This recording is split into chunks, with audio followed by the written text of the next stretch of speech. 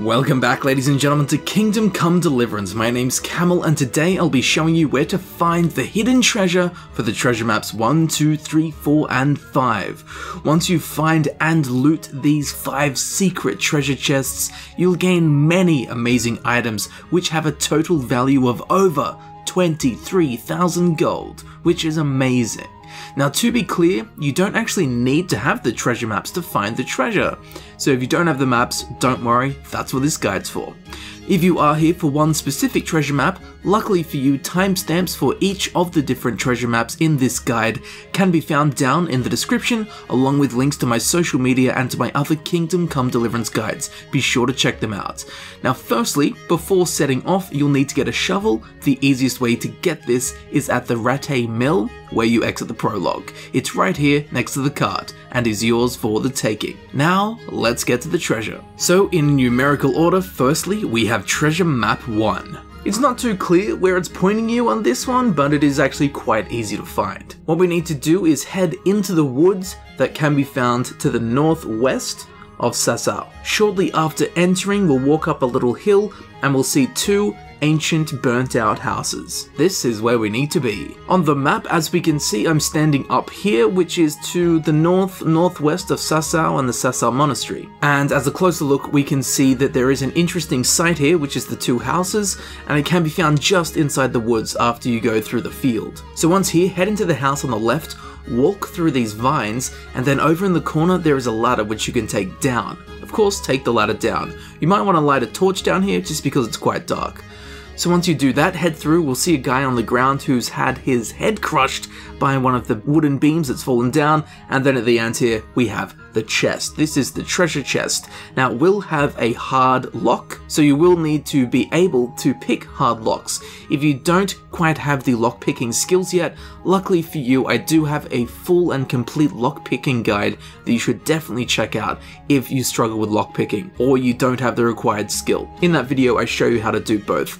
Now, back to this chest. As we can see, we have some incredible items. Those Augsburg plate chausses are actually very, very top of the range uh, heavy armor. In fact, it's some of the best of the game. Next, we just have 349 gold. Excellent. The Noble Dark Shoes. I don't know if you'll end up wearing these, but they do have a value of 941, so We've got the odd die, which has a greater chance of landing on odd sides, so if you want to gamble away all of your money, do that. Recipe for Antidote, that's pretty good, and Who Needs a Key 3, that's a lock-picking level up book. But even if you don't want to use it, you've got a value of 450.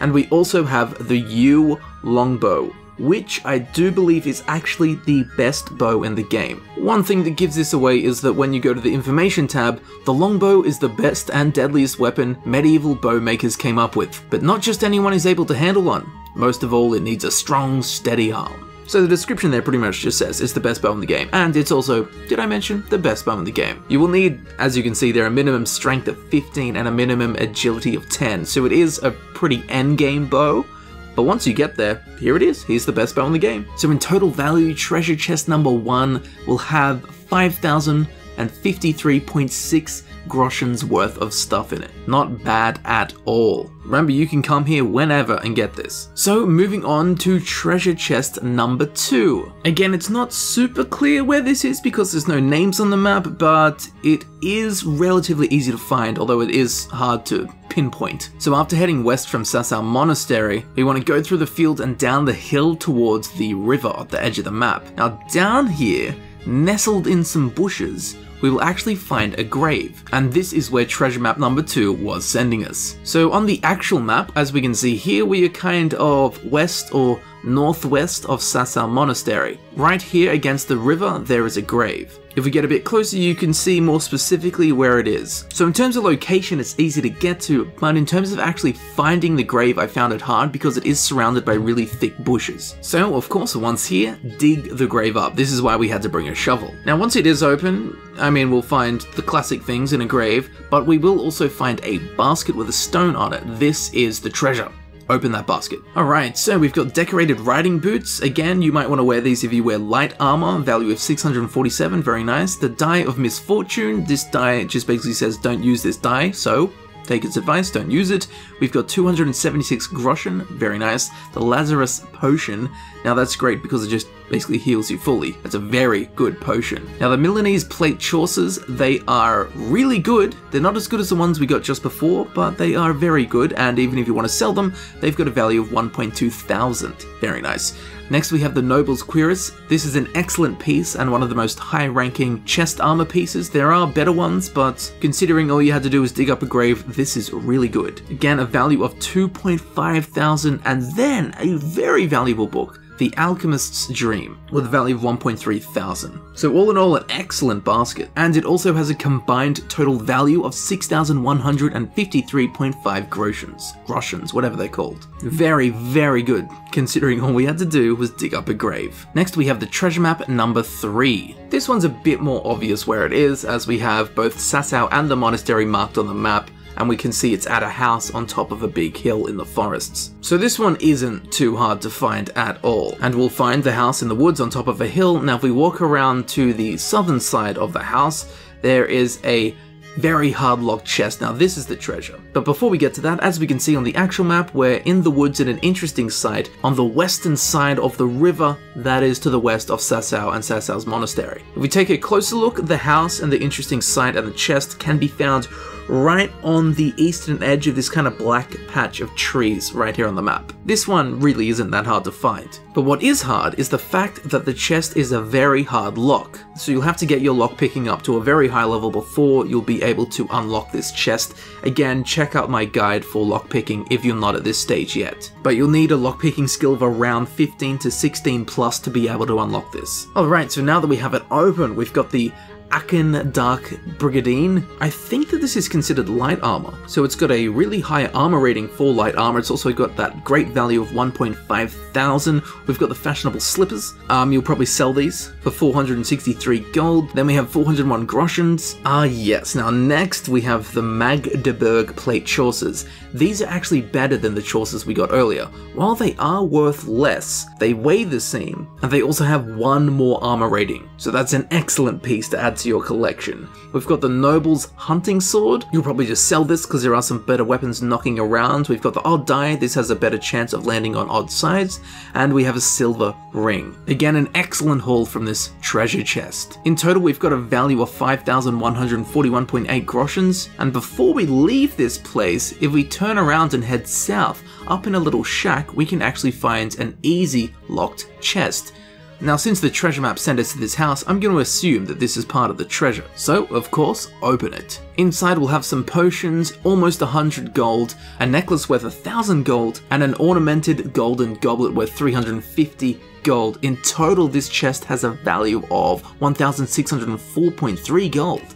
Pretty good, considering you just opened an easy chest. Alright, moving on, we've got treasure map number 4. Now this one is a little bit hard to find. Um, you'll have to walk into the woods and basically head up a super steep hill, which is difficult, or you can come at it from the other way and head down the hill.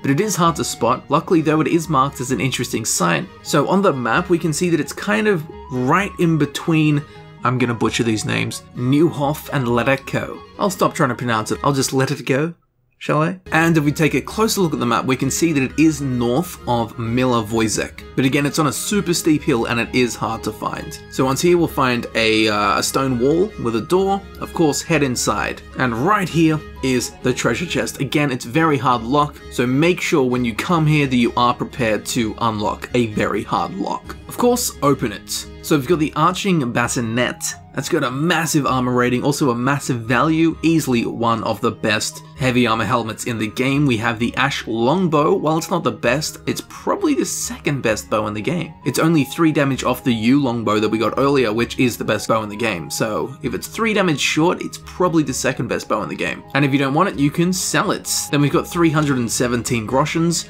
We've got another necklace worth a thousand gold. Then we've got Nobleman's boots worth 1.1 thousand. Just sell them. We've got the Noble's composite chausses worth 1.3 thousand. Not as good as the other two we got earlier, so just sell those. We've got the recipe for the Bowman's brew. This is a value of 265 and we have the shrinking playing die. Now this is actually one of the best die in the game as it's just one of the few properly loaded die loaded in favor of its holder. So that is actually a great die to have if you do want to gamble. But we've got a combined value of 7,119.3 gold in this chest. Not bad at all. And finally we have treasure map number 5, which as we can see it's clearly marked near the well, which is why if you couldn't find this one you're going to be annoyed at where it is. So walking uphill into the woods from the river, keep heading up towards the fields until eventually you should hopefully see a bunch of rocks and bushes. In here, stuffed away is a well. Now on the map, this is, as we can see, kind of found directly between these four different cities. And if we take a closer look at the map, we can see that it is here, which is marked as an interesting site. And that interesting site is of course the well. Now this is the well that we saw on the treasure map, the one in which the treasure was next to the well. Well, Ironically, no. Now the treasure is actually found inside the well, inside a sack. So once you do find it, open it. Now this is nice and easy because it doesn't require any lockpicking, but inside we'll have a dyed Milanese Brigandine, super high armor, super high value. In fact, it's one of the best in the game. We've got fashionable slippers, just sell those for 463 gold. We've got Grasses and Herbs Volume 4. This is a herbalism skill book, which as we can see has a value of 1,300. And you can sell that straight away if you like, because if you followed my best starter guide, you'll already have a herbalism of 20. We've got 271 gold, and we have the recipe for the Marigold decoction, which has a value of 150, which is actually great because Marigold decoctions are brilliant potions that will heal you and save you in many situations. And finally we have the unpopular die. As I mentioned with the last chest and the really good die, this is one of the really bad die and apparently everyone who rolls it loses, so you might want to sell it unless you're collecting die. But altogether, this final treasure map number 5 has a value of 5,076.1 gold. Not bad at all. So provided you looted all 5 of the secret hidden treasure map locations that I showed you in this video, you will have collected a delicious sum of gold and a stockpile of very powerful weapons, armor, jewelry, clothing, books, and other bits and bobs with a combined total value of just over 23 thousand gold. You'll also have your choice of amazing and in some cases, even the best armor in the game and along with the best bow in the game. A very, very impressive haul considering that you can do this whenever, all you need is a shovel and the lockpicking skills. So these maps really are something to treasure.